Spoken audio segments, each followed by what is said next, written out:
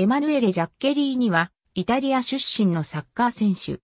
キエーボ・ベローナ所属。ポジションは FW、MF。2002年に AC チェゼーナの下部組織に加入。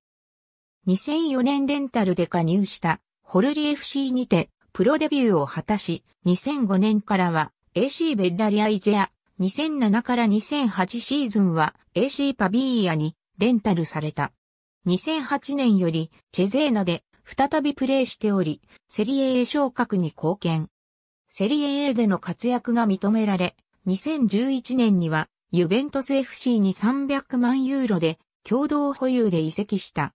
2011から12シーズン終了後には残りの保有権をユベントスが425万ユーロで買い取った。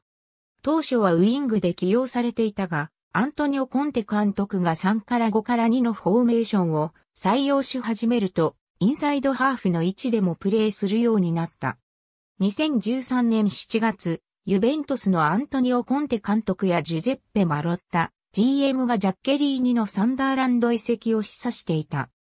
2013年7月16日、サンダーランド移籍が決定。怪我に苦しみ2014から15シーズンはわずか8試合のみの出場に終わった。2015年9月、セリエ A へ昇格したボローニャ FC に1年間のレンタル移籍が決定。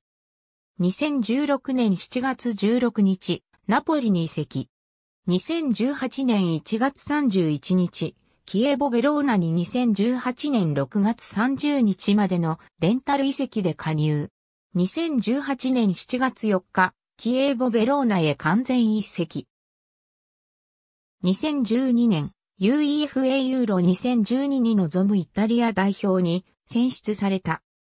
ユーロ2012の初戦となる6月12日のスペイン戦で代表デビューを飾った。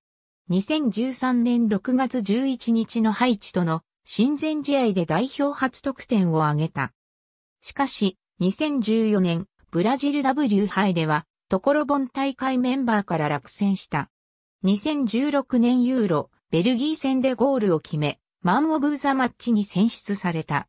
また決勝トーナメント1回戦では、キエッリーニのゴールをアシストし、前回王者を破ってのベスト8入りに貢献した。ありがとうございます。